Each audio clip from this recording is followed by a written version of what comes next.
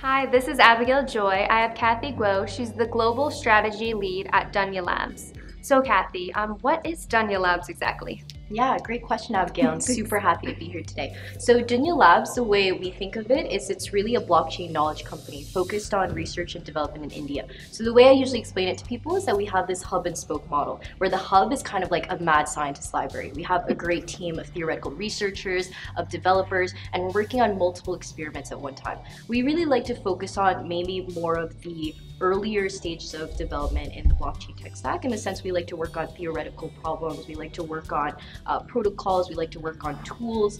Uh, we don't work so much maybe on the application side, but that's something we're looking into because our thesis is that this is really a nascent stage of this technology and we would like to on one hand develop capabilities at all points of the value chain but on the other hand really focus on developing and bringing this foundational technology to consumers at a later stage. Very nice. Are you guys based um, mainly in india or other places as well? Yeah so our headquarters are in singapore but we actually are building out a really large operational team here in india. We believe that india has an amazing talent market from the research perspective and also from the software engineering perspective.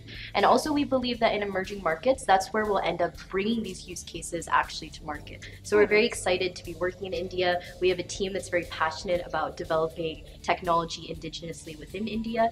And uh, yeah. Very nice. And then one more question for you. Um, I sure. wanted to know more about your team members. I hear you have a really interesting group of members there.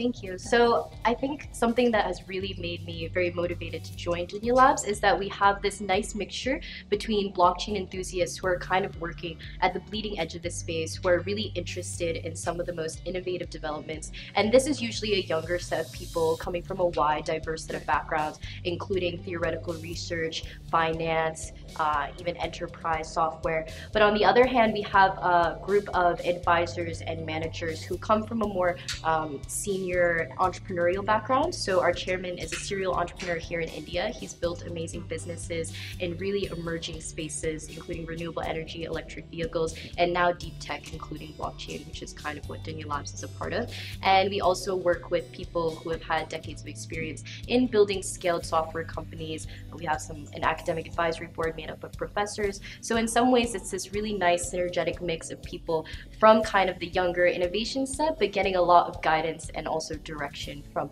more experienced people who are giving us a great deal of autonomy to build what we think will be the future. Very nice. It sounds like you have a great team, and I know that's what everybody looks for. They want to know all about the team. Right, absolutely. So for everybody watching, um, if you would like to check out the website, go to www.dunyalabs.io. Thank you. Thanks, Abigail. It's been a pleasure.